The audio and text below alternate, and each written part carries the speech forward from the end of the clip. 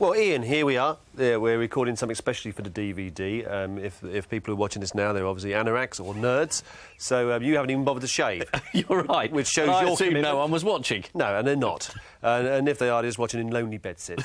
So um, we're here to talk about the uh, various uh, hosts, guest hosts that we've had. Guest um, hosts? since, the last couple of series. I'd like to talk about the first one of all. First one of all, we have a picture of the first one of all. There he is. That's the picture of the first one of all. OK, what do you think? What was the verdict? But he was quite desperate that week, wasn't it? It was very desperate. I mean, they didn't have a lot of choice. No. They no. had they had a, a short list of one. Yes, and unfortunately it was me on it. um, it was interesting to do it. I found that uh, it was actually it's a much easier job than what we normally do. Really? What? Yeah. Because you're reading it. You're reading it, and the jokes are there, and, you, and you've got to sort of, you know, what passes for a production team in today's television atmosphere, st- sitting around giving you jokes, and you just sit there and read them out, you know, and then occasionally you say, yes, very good, two points. And you don't have to make anything up, it's all there, really. So I found it sort of like reasonably relaxing. But I thought you did basically a parody of someone reading an autocue. Yeah, exactly, exactly. Um, with, a, with a certain sort of like, you know, there was a certain, I think there was a certain class to it. I was should have worn a cravat, really. Um, somebody from the Daily Telegraph came up to me the next day and said, what was it like? And, you know, thinking it was going to be a disaster. And I said, it was an absolute triumph. Which completely stunned them. But it's, you know, as, as we... As But they loved it. I mean, just I mean the punters in the audience because it was you doing something different. Absolutely, absolutely. I can't remember who was who was you that night. Ross Noble Oh, Ross me. Noble. Oh, right. Well, yeah. And So- he'd been on the show the week before. He'd been on the show the week before, and uh, it kind of went to his head a little bit, and he wasn't as good as he could have been. But um, you know, it just shows you the, the, the you know the, the quality of the person that normally sits there. have you ever fancied doing it? Were you approached? Um, I was approached, but and, and I got I got rebuked by Boris Johnson, Mm-hmm. um, who said, um, you know, why haven't you been um, on the chair? And I said, well, I edit a magazine. And then he gave me a funny look and said, so do I. And obviously it hadn't occurred to him that he should show up there during the week, really. Um, but it's quite hard work, isn't it? You do three days or four days. Well, yes. I mean, you do sort of get an idea of what the uh, of what the production team is doing and all the work they put in, and they do sort of care about how the joke is phrased and is salmon a funnier word than archbishop or, or whatever the examples are. Yeah. It depends what the story is. You know, if you say an archbishop spawns every summer, it doesn't really make much sense. No. If you say there's a gay salmon who's just become head of the Church of England, that doesn't make sense either. So you've Yeah. got to choose between art. It's, it's a classic archbishop salmon quandary. Yeah, yeah, exactly. Um, so yeah, I found it remarkably easy, but uh, I sort of I did miss me not being there at the end. on the yes, end and it was sat. annoying you delivering the stuff because it meant I couldn't sort of have a go at you because you were the host. That's right. Which that's was right. tiresome. So, um, so okay, so that was the beginning. I, I took And the- then they then there was a sort of who on earth can follow that? yeah, exactly. And it was Anne Robinson. There we are. There's Anne Robinson. I remember her coming on and thinking, I'm going to lose this because the last time she was on was when she used to work for Robert Maxwell. Mm. And um, I think there was some feeling that because she was new to the job, we perhaps shouldn't bring this up. Yes. So I did. Yes. Um, and she started deducting points. She's very she's very touchy about that, isn't she? Because she wrote because Private Eye sort of famously was about the only publication that was printing the, the truth about Maxwell while he was still alive, and uh, she wrote an incredibly uh, Grovelling. grovelling article the day after he died, Yeah, didn't she? saying he was a giant and sort of larger than life, and, and, and he'd employed her Mm. at a huge salary. So I thought that'd be funny to bring up, and she didn't. No, so no. That, that added a bit of spice. I think she was. I think she was a bit sort of slow as well. I think it, it, it's it is one of those jobs. It's quite. It, it's it looks easy, but there is a, there is a certain style to it. You've got to sort of have a bit of pace to it. And I think when people are reading the autocue, they do sometimes tend to just think. I better talk quite slowly because the autocue, the words are appearing very slowly, and they sort of go to the speed of the autocue rather than dictate in the way it should be done. And she's more used to panto, isn't she? She is more used The weakest panto. link is more sort of grand dame in black. Exactly. delivering her put-downs. Exactly. Um, so that was her. Um, we then had um, the Jo Brand lookalike, which was uh, John Sergeant. Now he A had- touch of class. a very, very much a touch of class. He had made a big impact, hadn't he? As because when we're often, I'm often asked, and I'm sure you are, who has been your, you know, your most favourite guest ever? And I often choose him Mm. because on the first time he came on, there was with no expectation at all that he could, would be remotely amusing. He was No, ITN's political editor. Yeah. Um, he came on. He'd never, I mean, publicly cracked a joke, or not for 20 years or something. But he had Um, actually done some work with Alan Bennett, hadn't he, in the mid 60s? He'd appeared in Alan Bennett's sketch show, which the BBC, in its uh, ultimate wisdom, wiped uh, so we could get the Troop into the Colour 1965 in all its glorious detail. Um, so, how do we think he did? How did we think John Sergeant did? He was good. Um, I liked him. I, I like the idea that the host might know the answer to the question. yes, Um, yes, he, he brought bottom. Yeah, but he had bottom. Because some hosts, you just feel that they might just read it out and have not a clue what was going on. I was a bit like that, which I think is what you were referring to. I am, yeah. at one point you said, uh, well, what does that mean? I said, I don't know. it's not written down here. How would I know that? Or indeed when Boris did it, when you felt not only have you not read this autocue ever before, you've no idea what's going on. No, exactly. Which brings yes, it brings us to Boris Johnson. So let's have Ah. a, let's have a, a look at Boris there, the, one of his uh, saner moments. uh, yes, he, he had to read something out about Amanda Holden and Neil Morrissey, Hmm. uh, which I think had been some, and Les Dennis, which I think had been some story in the, in the press at the time. And as you pointed out, you, well, you asked, I think, do you know who any of these people are? Yeah, because I knew who one or two of them were, and I thought I would get one up on him. Mm. But it was equivalent. Charlotte Church read out members of the cabinet. Obviously, didn't have a clue who any. Yes, of them were, yes. and that was Boris reading out people from Heat. Yes. not not a clue. People often say, uh, you know, it, it, it was one of their favourite ever episodes because he was completely. He has that kind of air of sort of like, what on earth's going on? Mm. And he promised a coconut, didn't he? yeah, Uh, give that man a coconut, I think he said to me. And somebody from the production team ran out of, of LWT where we film it, went as far as Bermondsey, I think, to buy a coconut and brought it back. but he was genuinely impressed by that, wasn't he? Yes. The idea that it could actually happen. What I liked was just you never know what's coming with him. He he said to me before we were going on. He just said. Do you know what the Tory policy is on immigration? And I thought he was about to shock me. Mm. And I said, no. And he said, no, nor do I. and that was it. He thought I might help him out. Yes, yes. So that's Boris, which brings us to um, Charles Kennedy. People thought it was a bit of a gamble, him, him doing the show. What did you think?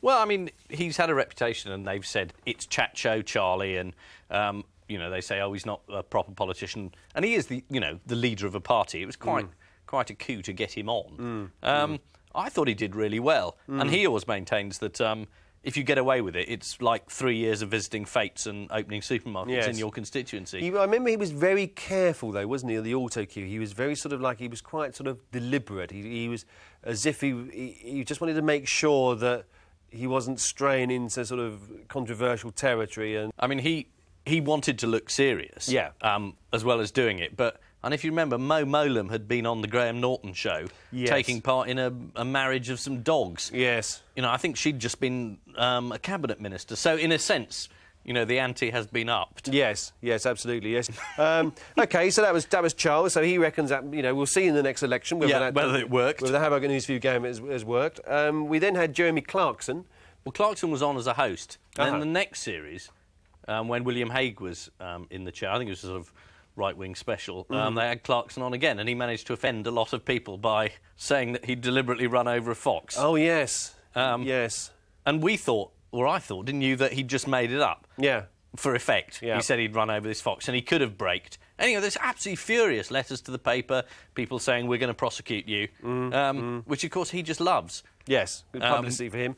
Um, so he sort of, uh, yes, that was one of the more controversial moments, I think, in the whole history of the show. Jeremy Clarkson said, I deliberately ran over a fox. Yeah, yeah, you can attack the government, but don't do animals. No, no. don't- People genuinely hate it. They do, they do. And uh, Jeremy Clarkson, that brought, uh, he was the last host of that, uh, of the uh, autumn Oh, series that Mo last year. Mowlam was on that show, Yes, she was, wasn't she? and they continued that fight about whether Brunel or Churchill should have won the Greatest Britain. That's right, that's right. and he was furious about losing, so he just kept arguing. And Yes. And I think he told Michael Gray to shut up at one point, Yes. didn't he? Which was a... that was new for a host. it was a refreshing change, wasn't? Assertion.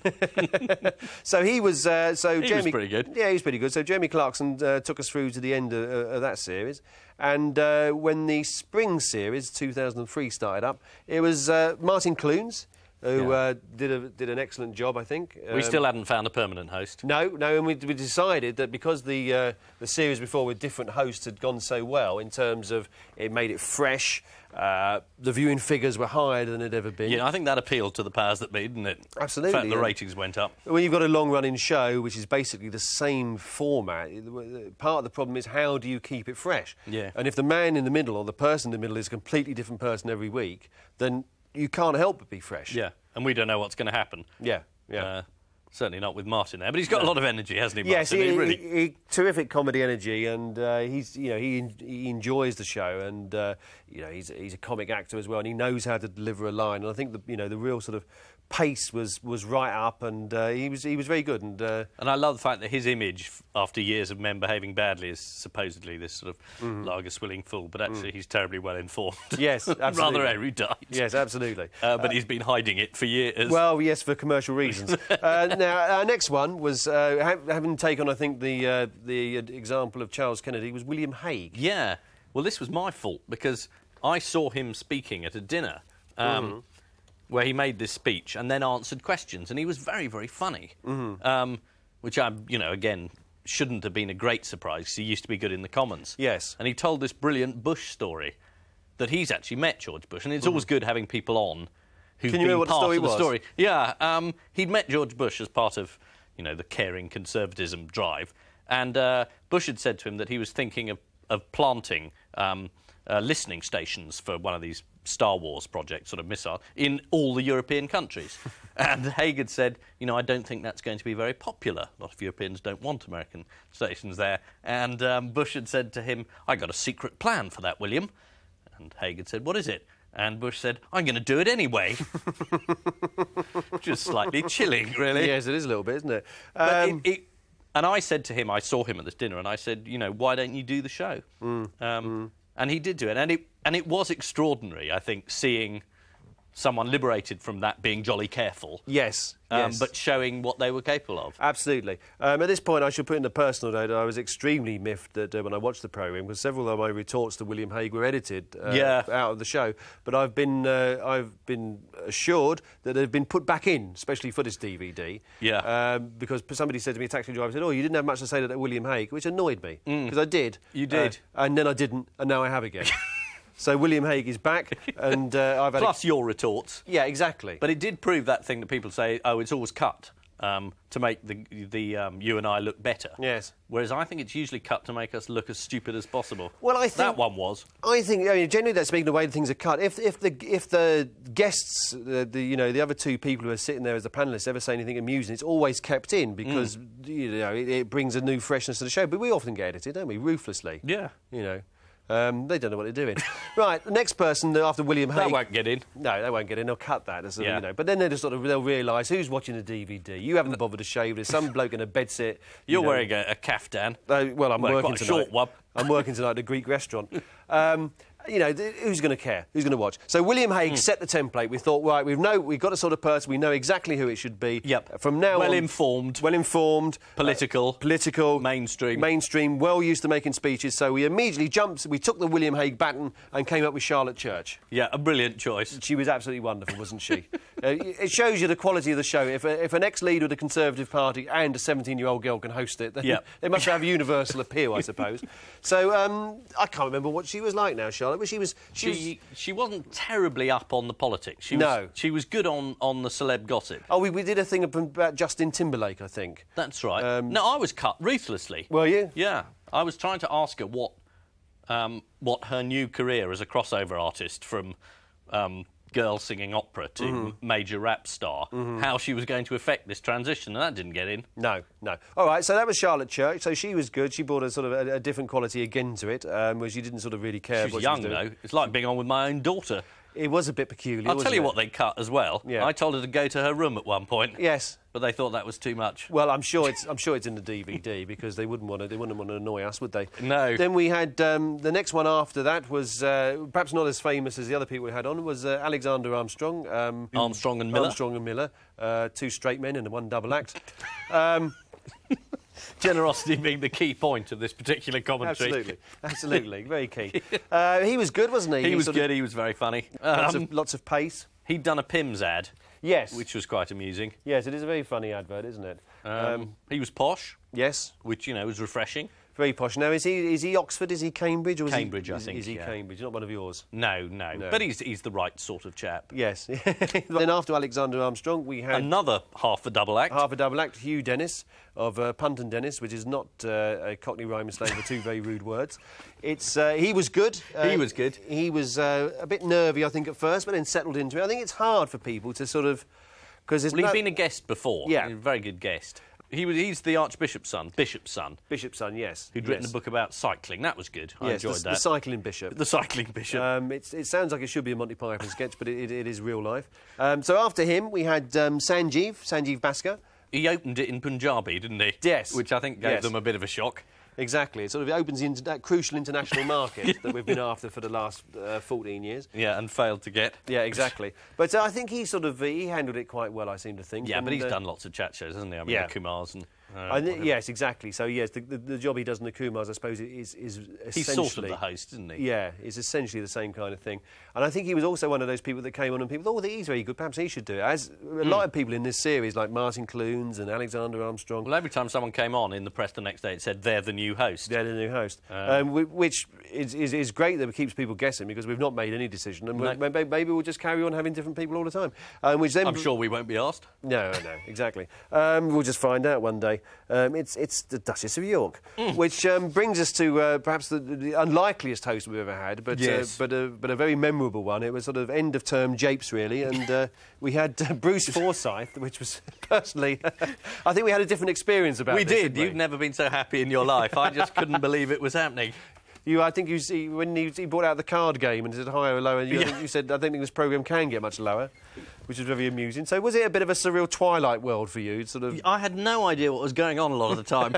Again, I don't know if they left this in. It didn't go out on the broadcast, but at one point you said Ian didn't have ITV on his telly at home. There was no button, and I'd never seen that show. No. So I literally didn't know what he was on about. Yes, it's a parallel universe, ITV, the ITV game show. If you're not aware of it, you really don't know what's going on. But Um, someone said to me that um, Iraqi Play Your Cards Right was probably the worst taste um, joke ever put out Yes. on BBC One, but he got away with it. Well, it was, it was actually worse. I think one of the writers suggested play your curds right. Oh, so that wasn't. so you say it's the worst taste So, joke. but one. But one, but Yeah. one. There was one worse than that. So I think by the time people buy this, this DVD, we would have already done the uh, uh, autumn series in 2003. So who knows who, who's hosted it? Uh, Mickey Mouse, Mickey Mouse, Keith Noddy- Chegwin. Keith Chegwin. So um, there we are. Uh, you can stop watching this DVD. DVD now. Go out and DVD? get, DVD. DVD. It feels like we've been here for a day. You can get. You can stop watching this now and go out and get a life. As indeed we intend to. Good night.